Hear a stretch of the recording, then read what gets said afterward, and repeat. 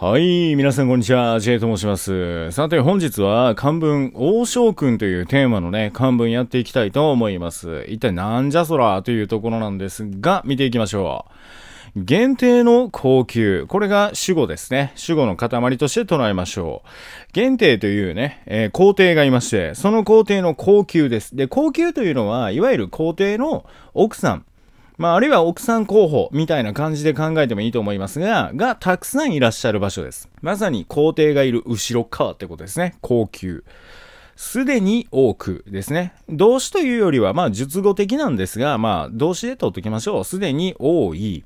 そして、この図というのは英語で言う not に該当します。で、レ点がついてますよね。この字は基本動詞と直結するので、後ろにある as というところがくっつくんですよね。で、この as というのは、まあ、動詞として全然取ってもらっていいんですけども、ちょっとキャン的な意味を持っているものになります。で、ちょっと動詞の役割をするような言葉とくっつくので、帰り点の2がついてますよね。なので、1がついている、見るっていう字あるじゃないですか。これが動詞的になっているので、見ることができるなんですよね。これで L で。いい？で、それに図がくっついて見ることができないという風になってます。で、その間に副詞が入ってますね。常には見うるを得ずという風になります。書き下しましょう。限定の高級、すでに多く、常には見うるを得ずですね。訳としては、限定と呼ばれる人の高級に住む妻たちはすでにたくさんおり、いつもお目にかかることはできなかった。いつもお目にかかるという風にはなないってことですね。だからたくさんいるから、えー、誰が呼ばれるかわかんない、えー、いつも呼ばれるとは限らないという感じですね。で、ここで一個、ちょっと常にはという字を色変えてますが、こういう風に書いてますよね。えー、これ部分否定と言ってて、常には V しないという風な感じで使います。で、もう一個大事なことがあって、これ。わかります？図っていう字と常っていう字の順番が変わってますよね。これで、しかも送り仮名のとこ見てくださいね。上は常にはって書いてるんですが、下側は常にになってます。はないよね。上側は、訳も実は違うんですよね。いつも V するとは限らない。これは部分否定です。だから前の not、図がですね、常っていう字を否定してるというイメージを持ってもらったらいいと思います。常にではないんですよ。常にではないんですよ。だから、いつもとは限らない。こんな感じですね。で、それに対して下側は常にっていう字が前に来てますよね。で、後ろに打ち消しの図が来てるから、常にほにゃららしないっていう風な感じになるんです。だから、いつも V しないという風に解釈します。この違い、ぜひ覚えておいてください。はい。ここは、先に打ち消しの言葉が来てるから、常にという字を打ち消してるんだなっていうふうに考えましょう。いつも V するとは限らないと。だから、いつもお目にかかることができるとは限らない。こんな感じですね。で、続き行きましょうか。すなわちというふうにこの漢字を見ます。そこでとか、帰ってとかね、意外性を表したりするような時に使ったりもするんですが、すなわちシムっていう字が使われてますね。これもちょっと後で説明します。死液の句形なんですけども、英語で言う死液の動詞、メイクだと思ってください。メイク、人、動詞みたいな使い方します。締め、画工をして、で、帰り点2がついてますから、1のところですね。図っていうのが、ここは描くという動詞として利用してるみたいです。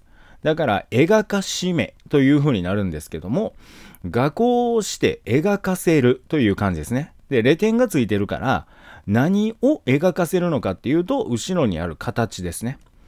はい。なので、こういう感じです。描かせる。このえぐ、えぐって、この図が動詞になってます。で、後ろ、レ点がついてるから、形、O のところが目的語になってて、書き下すと、すなわち、画工をして形を描かしめというふうになります。はい、訳しましょう。そこで、画家に妻の姿を描かせということですね。だ画工というのが画家というイメージでいいと思いますが、画家さんに姿を描かせたという感じですね。死液の句形です。そして、暗示ってなってますから、これ動詞で取りましょう。レ点ついてるしね。で、後ろの図というところが目的語ですね。図を暗示。召してこれをコースという風になってます。召すというのが動詞。で、手がついてるので、そのまま後ろの動詞にくっつきます。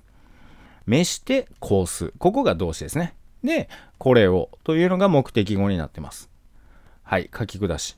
図を暗示、召してこれをコース。意味としては、絵を見て考える。だからこの絵というのはその妻の絵ですね。描かれた妻の絵を見て考え、そして読んで女を寵愛したという感じですね。なので、え画家さんに絵描かしてね。で、その絵を見て、うん、この女にしよう。よし、この女を呼んでこい。みたいな感じで可愛がってたって感じですね。さすが皇帝ですね。はい。そして、死役の区形です。死役の区形は、使うという字、あと命令の例とかもそうなんですけども、えー、使うという字が来たら、後ろに名詞が来ます。で、その後に動詞が来るんですけど、この名詞の後に必ず送り仮名のをしてというのを使うのを忘れないようにしましょう。特に使うっていう字の場合はね。うん。この押してっていうのを使わない詞液もあるんですけど、とりあえず使うという字が出てるときは、押してという送り仮名をぜひ探してください。名詞をして V シムという形になります。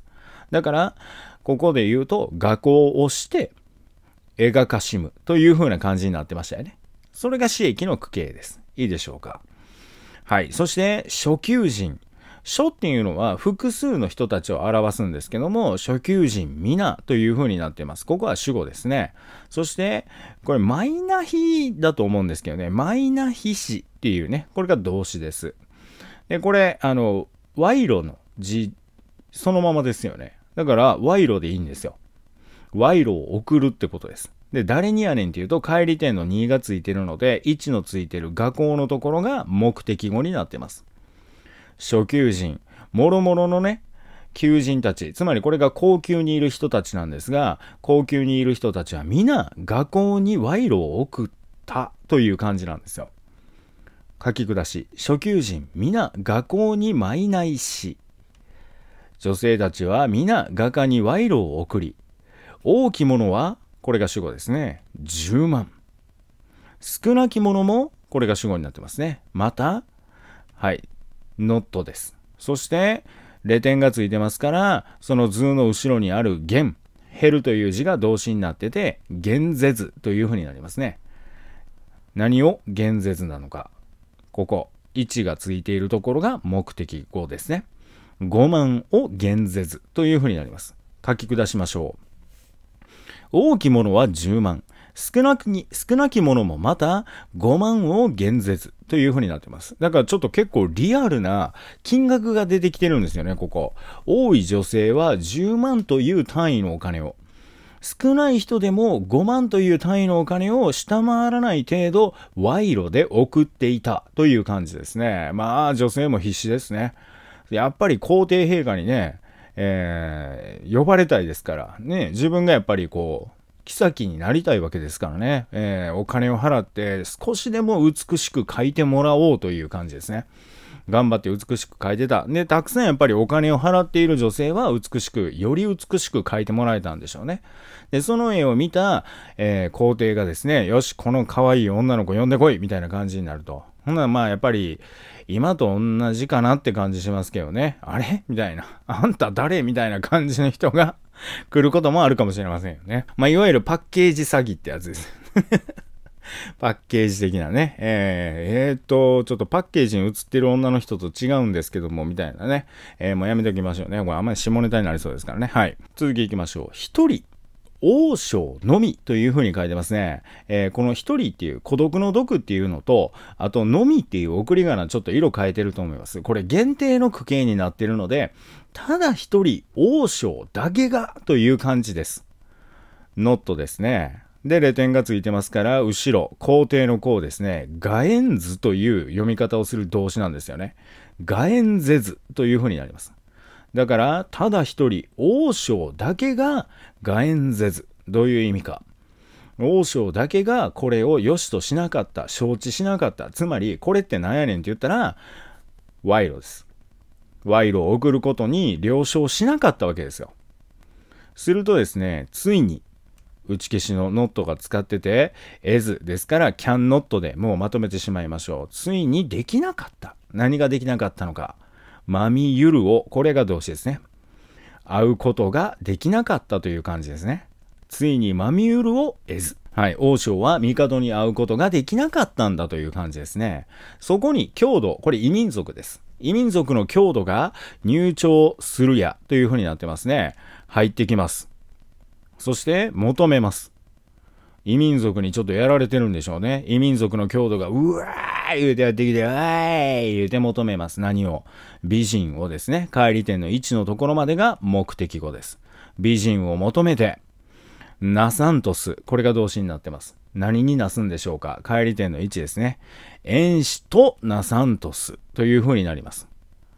遠視って何かっていうと、この郷土の妻、郷土の王様、異民族の王様の奥さんのことを指すんですよ。はい、書き下しましょう。郷土、入庁するや、美人を求めて、遠視とナサントス。郷土の使者が朝廷に来て、美人を求め、郷土王の妻にしたいと言い出したというふうになってます。郷土というのは異民族ですよ。何度も言う通りね。なので、異民族が入ってきまして、侵入してきましてね、えー、言うことを聞かざるを得ない状況になったんでしょう。えー、美しい姉ちゃんですイエーとか言うてきたわけですよ。そして、はぁ、はぁってなったんでしょうね。ここにおいてというふうになります。小。皇帝のことを表すんですけども、ここにおいてですね、ちょっと順番がおかしくなっちゃってますが、図を暗示、将軍を持ってという風な形になってますね。ここにおいて、将、図を暗示という風になってます。で、ここにおいてというのは、このまま一つの塊としてぜひ覚えておいてください。はじめの2文字ね。ここにおいてという風に読みます。で、意味としては、そこでという風な感じで使う。覚えておきましょう。そこで皇帝は絵を見て考え、将軍を持ってという、この以上の言いが帰り点についている場合は、with というふうに解釈してもらえればいいと思います。将軍で、みたいな感じですね。with 床シムというふうになってますね。シムというところ、えー、色変えてると思います。なんで色変わってんねんっていうと、あの、いわゆる送り仮名だけで刺激を表現している形なんですよね。行かせたという感じです。え、なんで急にこの翔くんっていう人、まあ、これがさっきの王将のことなんですけども、この王将を行かせることになったのかっていうと、えー、いわゆる賄賂ですね。えー、たくさんの女性は賄賂をいっぱい払うことで自分を美しく描いてもらってた。で、この王将という女性だけが賄賂を払うことを良しとせず払わなかった。結果、画家が多分怒ってですね、こんなやつめっちゃブッサイクに描いたれ言うて、王将くんのことをめちゃくちゃブサイクに描いたんですよ。そして、その絵しか持っていない皇帝はですね、絵を見て どうせやったらこんなぶっさいくなやつ送ったったらええわ、言うて、王将軍を選んで行かせることにしたわけですよ。そういう流れです、ここね。将軍を持って行かしむ。将軍を行かせることにしたと。そして、猿に及びてですね。この及ぶというのは英語で言う when ですね。の時にっていう感じです。だから、まあそのまま売買してしまう時にってことですね。証券するにというふうになってます。猿に及びて証券するに。やから、もう最後ですから。ちょっと読んでですね、王将君ってどんな物騒かやねん、ちょっと現物見たるわ言うて、へ へと、お、お、お、おってなったんですよ。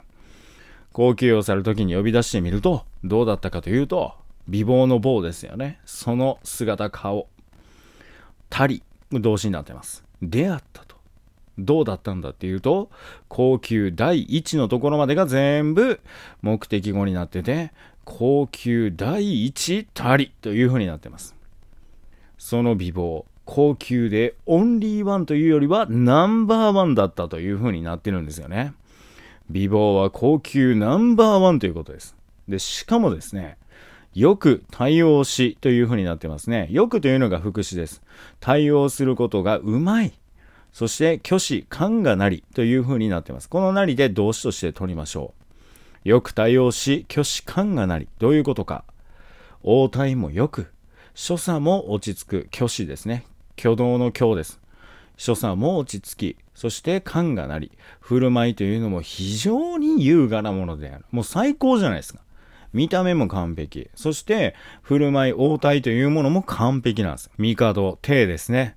これをくゆるもうという風になってます。後悔の後ですね。これが動詞になってて、これというのが目的語です。何を後悔してんのかっていうと、もちろんこの王将君を活かせるということにしたことを後悔してるわけですね。もうというのがついてるから、ここ逆説で繋ぎましょう。後ろに置き字がポンって置いてありますよね。色変えてます。はい。文章繋がってるよっていう印になってるんですよ、ここ。で、逆説的に繋ぎます。て、これをくゆるも、明晰が主語になってて、すでに定まる。これが動詞ですね。で、これをくゆるも、明晰、すでに定まる。限定は後悔したが、名簿がすでに決まってしまっているので、もうどうしようもないということです。王将君行かせるしかありませんでした。で、おもんずですね。重んじています。何をかっていうと、帰り点の位置までが目的語。真を外国に重んずという風になってますね。で、真を外国に重んず。まあ簡単です。なんかそのままのイメージですね。限定は外国との信用を重んじたということです。うん。急にどうしたんっていうと、いや、だからと。ゆえに、not。ね、何が not なのかっていうと、帰り点の2がついてるので、1がついているところが動詞になります。変えずですね。で、何を変えなかったのか、レ点がついてるね。1レ点になってるので、レ点がついてるから目的語が人です。人を変えず。こうなります。で、間にまたという副詞が入っているので、故にまた人を変えずというふうに、えー、書き下します。だから二度と人を交換しなかった、変更しなかったというふうになりますね。で、ここもですね、ちょっと実は注意してほしいんですよ。これ。打ち消し、図、また V ですね。また V 図ですね。ははん、これはあれか、というね。そうなんです。さっきもやりましたが、えー、これ、順番がまた逆になって出てくる場合があるんですよ。またが先に来て、図が来て、V という風になる。読み方も、なんと今回は一緒なんですよね。これ例外です。普通は久しくはとか、常にはとかっていう風に和をつけたら大体部分否定になっていくんですけども、これ全否定も部分否定もですね、どちらも読みが同じという結構異例なやつなので気をつけましょうね。意味は変わりますから。ルールはさっきのやり方と同じです。図っていう打ち消しの言葉が前についてるので、またという字を打ち消してください。またはないね。また V することはないんです。だから二度と V しないです。そうすると、下側。また V しない。え、一緒じゃないのっていう。また V しない。違うんですよ。またが先にあるから、V しない。また V しないのかよ。また、今回もまた V しないのかよっていうことです。ええ、どういうことっていうとですね、上側の方はもう二度と V しない。まあこれからの話ですよね。動詞することっていうのがもう二度とないんだっていう表記になってて、下側はですね、お前前回もせえへんかったし、今回もまた V しないのかよっていう風な感じになります。だから下側は前例があるんですよ。V しなかったっていう前例があって、その後また今回もかよっていう感じの使い方です。だからちゃんとまたっていう副詞が生きてるでしょそういう形になります。はい。今回文章では図が来てまたが来てますから二度と人を変えることはなかったってことですね。だからもう郷土、異民族の方に名簿を送ってしまってるわけですね。こういう女行かせるからっていう風に名簿で送ってしまってるので、えー、今更帰れへんっていうことですね。交換できひんと。すなわち、休安しって書いてます。ここは熟語的になってますね。帰り点の2がついてるので、1がついてるとこまで、そのことのとこまで目的語です。すなわち、そのことを休安し、画工、皆、きし、せらるという風になってます。書き下しましょう。すなわち、そのことを休安し、画工は主語になってて、皆、きし、せらる。受け身になってますね。せらる。起死されたという風な動詞になってます。どういう風に解釈するのかっていうと、そこで、今回のことを徹底的に調べてみると、学校たちは皆死刑になり、シチューにさらされたという意味で使ってるんですよね。ちゃんとだから受け身的になってますよね。まあだから分かったわけですね。今回のことを徹底的に調べた結果、画家が賄賂をもらって、別に対して美しくない人たちのことを美しく描いてる。で、賄賂を払わなかった王将君のことをブサイクに書いたということが発覚したわけですよね。もうこれ最悪やね。発覚しちゃいました。だから、画工をみんな捕まえてきて、お前ら言うて、私服を肥やしたのみならず言うて、えー、自分ところのね、えー、奥さん候補の美しい方を完全に、えー、まあ言うたら、人質的な感じではないですけども、異民族に送ってしまいましたから、もう最悪ですよね。なので画家たちは皆死刑にされてしまったというお話です。まあ、よく考えたら誰が悪いんかっていうとちょっとやや微妙なとこもありますけどね。そんななんかこう、全員に会われへんのに、そんないっぱい奥さん持ったあかんでっていう気もしますけどね はい。という感じですね。今回、いろいろポイントは入ってます。区形的なものね。刺激も入ってますし、この部分否定。